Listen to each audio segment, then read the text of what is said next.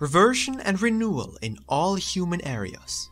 The Third Testament, Revelations of Jesus Christ, chapter 57.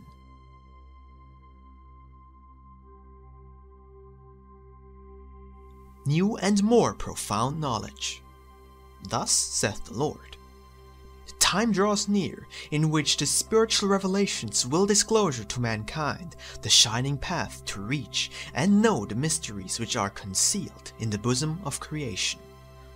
The light of my spirit will reveal to you the manner of obtaining the true science which will permit man to be recognized and obeyed by the creatures that surround you, and by the elements of creation, thus fulfilling in this way my will that man would be Lord on the earth.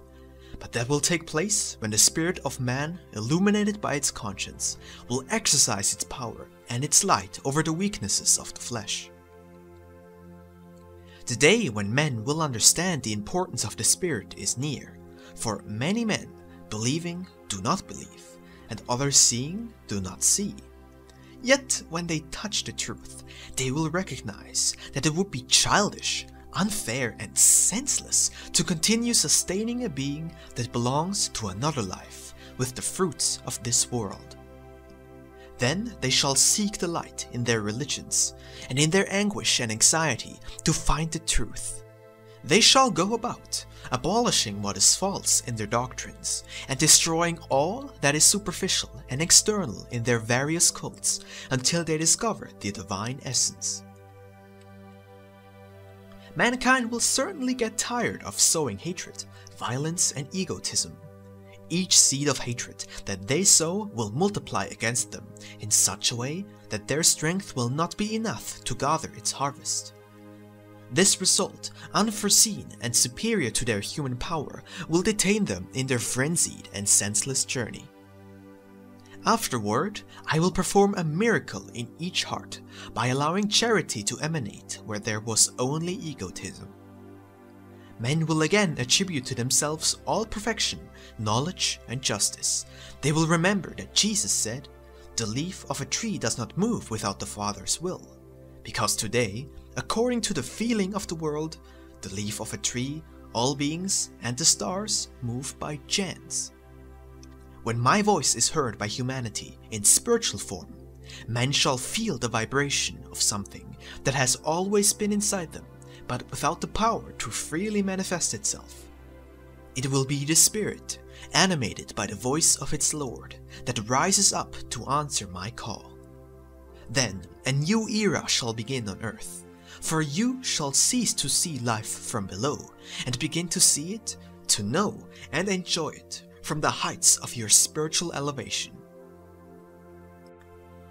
When it is no longer the mind that leads, the spirit is observing or understanding science, but the spirit that elevates and guides the mind, when will discover things that are unfathomable to them now, but which are in fact destined to be revealed when men have spiritualized their intelligence. I have told you that the moment will come when the light shall shine from everywhere, in all lands and all continents. That light will shine according to the spiritual preparation of man, and through it, a new and more accurate idea of creation will be formed, a new stage of spiritual evolution. When men come to think universally of love, each person will then try to perfect themselves, to comply, and to serve others better. All fear of punishment will be unnecessary. Man will not comply from fear, but from conviction. It is then that humanity will have evolved spiritually and in his intelligence. When my seed has sprouted in the hearts of the people that make up humanity, the life of every human will undergo a complete change. How big the change will be, which they will show in their human life, as well as their spiritual worship towards God, when you compare the state of living, believing, worshipping, fighting, and thinking of the humans from earlier times with the ones who live spiritualism. From that time of fanaticism, idolatry, materialization, and absurd faith dogmas, no stone will remain atop the other. All errors that your ancestors and you yourselves will bequeath to the following generations will be removed. Everything that does not carry any essence of good and truth within itself will not persist, but everything good that you inherited, they will preserve. That doctrine, expounded in a more spiritual form than in past times, shall have to struggle between men, peoples, religions, and sects to open a passageway and establish itself. Yet, when the time of confusion has passed, the peace shall come to men, and they will enjoy finding in my word the contents it has always held. The concept of my divinity, of the spiritual life, and of the purpose of your existence shall begin to follow the true path. For each man shall be a good interpreter, and what has been told him in parable and in a figurative sense by your master, and by his envoys and prophets. That language was understood only in part by men. It was the lesson assigned to them according to their mental and spiritual capacity. But they, wishing to know all, became confused, giving it material interpretations to what can only be analyzed in spiritual form. Instruction through human envoys of God. I have promised to send the great spirits of light to live among you. They await only the moment to come to earth, to be made flesh, and fulfill a great mission of restoration. What will you need to teach these beings when they come to inhabit this world? Nothing! Truly, I tell you, for they shall come to teach, not to learn. You shall marvel to hear them speaking, even in childhood, of profound teachings, sustaining conversations with the men of science and the theologians, startling the aged with their experience, and counseling the children and the young toward the good path. Blessed shall be the home that receives one of these spirits in its bosom, and how grave shall be the charges against those who try to impede the fulfillment of the missions of my envoys. I tell you again that there shall be no lack in the world of men, bearing great light to illuminate your path and sow your lives with love. Humanity has always had the presence of these men on earth, and the time nears when great legions of these spirits of great light come to the earth to destroy the false world you have created, and to erect a new one, where men breathe peace and truth reigns. They shall suffer greatly, caused by the evil of men. But that will be nothing new, for none of the envoys of God has escaped persecution, mockery, and offenses. They shall have to come to the world and dwell in it, for their presence is necessary on earth. They shall come calling with love to the heart of humanity. Their word, impregnated with justice of the Father, shall touch the pride and arrogance of all who have exchanged the vestments of humility of the Spirit for the robes of vanity, pride, false power, and false greatness. Those shall be the first to stand pointing with a finger, trembling from rage at my envoys. But this shall mean merely that in each trial to which my envoys are submitted, these can give great testimony of the truth they have brought to the world. You do not now know in what walks of human life they will appear, but I tell you that some shall appear in the bosom of great religions. They will struggle for the unification and spiritual harmony of all men. Others shall arise from among the men of science, to show with the fruit of their inspirations that the true purpose of science is the spiritual perfection of man, and not his misery and destruction. And so, in every walk of life, my servants shall appear bearing my law in their hearts, and testifying in word and deed to what I have come to speak to you of in this era.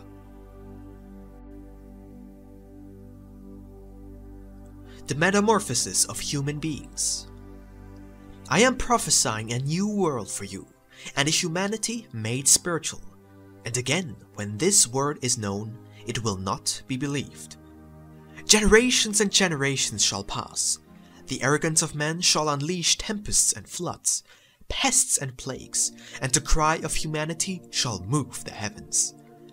Yet, after all this, the new inhabitants shall begin a life of reflection and spirituality, making use of the immense body of experience that past generations have left to them, and the divine seed shall begin to germinate. In each spirit exists a germ of the divine, for it sprang from me, and just as your children inherit the looks or the characteristics of the parents, the spirits too shall, in the end, reveal that which they have inherited from their celestial Father, which is love. After the new flood, the rainbow shall shine as a symbol of peace and a new pact man will make spiritually with its Lord. You should expect the struggle to be great, for all of you shall need to fight against the dragon of evil, whose weapons are ambition, hatred, earthly power, lust, vanity, selfishness, lies, idolatry, and fanaticism, all being the forces of evil born of the human heart, and against which you must fight with great courage and faith until you have defeated them. When the dragon of your passions has been killed by your arms of light, a new world shall appear to men, a new world being the same one, but which shall seem more beautiful for men will then know how to take it for their good and their progress, endowing each of their works with the ideal of spirituality. Hearts shall be ennobled, the minds shall have light, and the spirit will know how to manifest its presence. All that is good shall prosper, and all that is elevated shall serve as the seed for human works. Man has descended deep into an abyss, and even to there the conscience has accompanied him, waiting for the propitious moment to be heard. Soon that voice shall be heard in the world with such great a force that you cannot imagine now. But it will make mankind come out of their abyss of pride, materialism, and sin, to be cleansed in the waters of repentance and begin to elevate themselves toward the path of spirituality. I will help all my children because I am the resurrection and the life who comes to lift the dead from their tombs.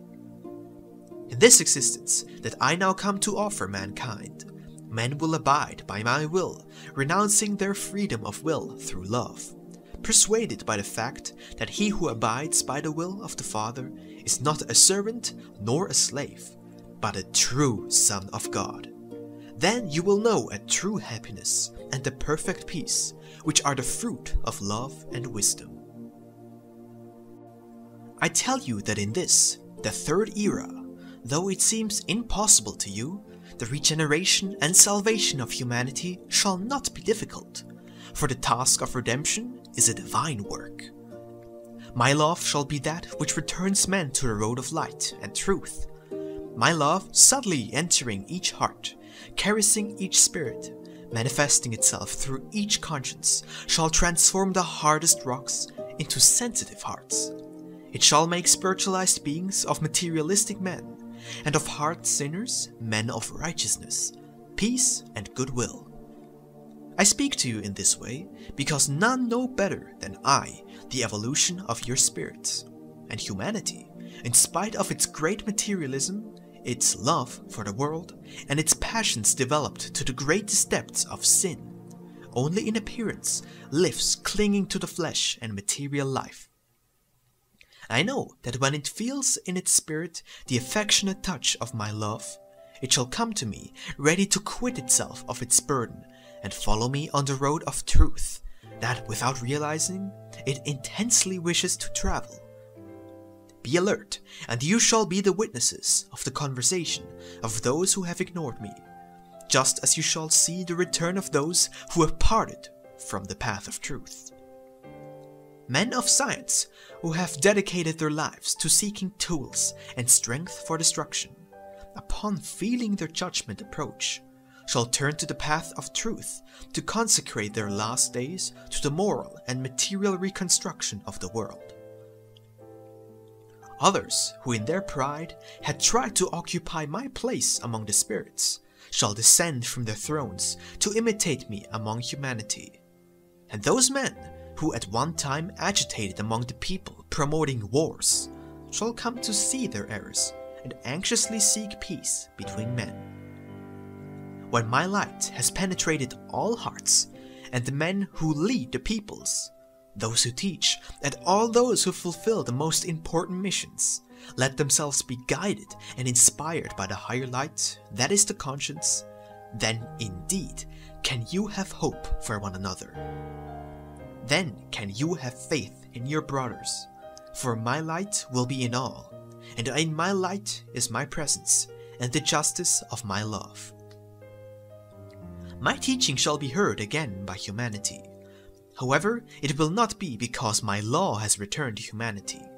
It has always been written in their consciences. It shall be because men have returned to the path of the law. This world shall be like the prodigal son of my parable, and like him, it shall find its father in his place, waiting to embrace him with love and seat him to sup at his table. The hour for the return of humanity to me has not yet come.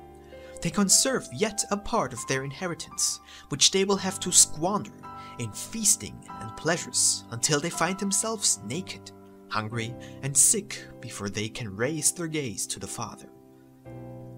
It is necessary to concede to those men, ambitious for earthly things, some moments more for their dissolution to be complete, so they may finally convince themselves that the gold, the power, the titles, and the pleasures of the flesh will never give them peace, or the well-being of the spirit. The hour of the examination of humanity in the light of the conscience approaches. There shall stand the wise, the theologians, the scientists, the powerful, the rich, and the judges, asking themselves with what spiritual, moral, or material fruit they have gathered they can feed mankind. From that instant, many shall return to me, recognizing that in spite of the glory they had on earth, they lacked something to fill the emptiness in which their spirits, which can only be sustained with the fruits of the spiritual life, had fallen. From the men of today, lacking in spirituality and love, I shall make spring the generations often prophesied by my word. But first, I shall prepare these people who today ignore and to make war and destroy each other. And when the action of my justice has passed over all, and the weeds have been uprooted, a new humanity shall arise, no longer bearing the seeds of discord, hatred, and envy in their blood, for the blood of their fathers will have been purified in the crucible of pain and repentance.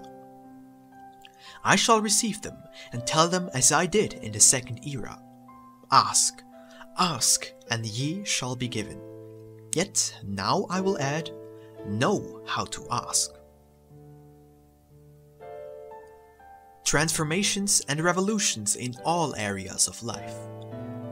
The material world the planet is not near to its disintegration, but the end of the world of sin and error, of darkness and bad science, shall come to an end with the light of my doctrine, and upon its ruins I shall raise up a new world of progress and peace. Great will be the change that mankind will suffer in a short while.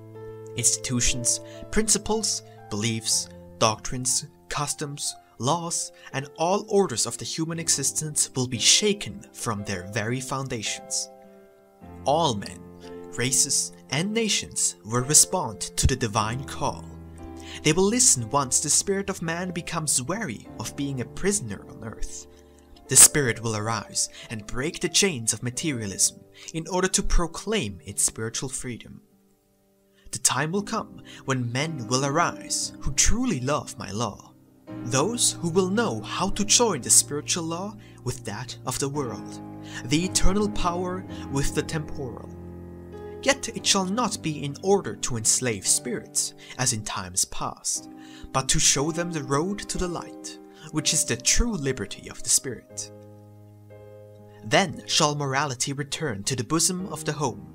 There shall be truth in the institutions, and spirituality in your customs, it shall be the time in which the conscience makes its voice heard, and in which my children communicate from spirit to spirit with my divinity, where the races are joined. And all of this shall decide the disappearance of many differences and conflicts, because up until now, in spite of the small size of your world, you have not known how to live as a single family, and have not been able to offer me unified worship. Ancient Babel condemned you to this division of the peoples and races, but the construction of my spiritual temple in the hearts of humanity shall free you from that restitution and bring you to love one another truly. A time will come when the desire of humanity for spiritual elevation shall be so fervent that they will dedicate every means at their disposal toward transforming this vale of tears into a world where harmony reigns, that will do even the impossible, making superhuman efforts and sacrifices to reject war. It will be those men that elevate this world, those who take from humanity their cup of bitterness, who rebuild all that previous generations have destroyed in their blind ambition, their materialism, and their senselessness. They shall be the ones who beware true worship for me, that worship which bears neither fanaticism nor outward or superfluous acts. They shall try to make humanity understand that the harmony between human and spiritual laws and their fulfillment is the best worship man can offer God. The time of rites, of bells and altars of bronze shall now pass from humanity. Idolatry and religious fanaticism shall give their final signs of life, and the time of struggle and chaos that I have been announcing shall come. And when, after the storm, peace has returned to the spirits, men will no longer build palaces in my honor, nor shall the crowds be called with voices of bronze, nor shall the men who think themselves great hold their power over the multitudes. The time of humility, fraternity, and spirituality will come, bringing with it an equality of gifts for mankind. The Reaper is here in this era, bearing the mission of felling all the trees that do not bear good fruit. In that great struggle, only justice and truth will prevail. Many of the churches will vanish, though some will stand and some, truth will shine forth in splendor, while others will offer only imposture. Yet the scythe of justice shall continue cutting until all of the seed that remains on earth is selected. This is the continuation of my lessons, but not the end of time as understood by men. The world will continue spinning in space. Spirits will continue to arrive on earth to be made flesh and fulfill their destinies and men will continue populating this planet.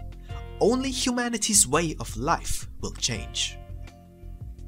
The transformations that human life undergoes shall be great, so much so that it will seem that the world has ended and another been born. That is what all of you walk toward, toward that life of serenity and peace, not toward the abyss or death as you currently forebode in your hearts. It is true that you must yet drink much bitterness before the time of your spirituality arrives, but it shall not be death, nor war, nor pestilence, nor hunger that halt the course of your lives or the spiritual evolution of this humanity. I am stronger than death, and so I will return your lives to you if you die, and make you return to earth whenever necessary. There is much yet to reveal to you, beloved humanity. There are yet many surprises in my arcane.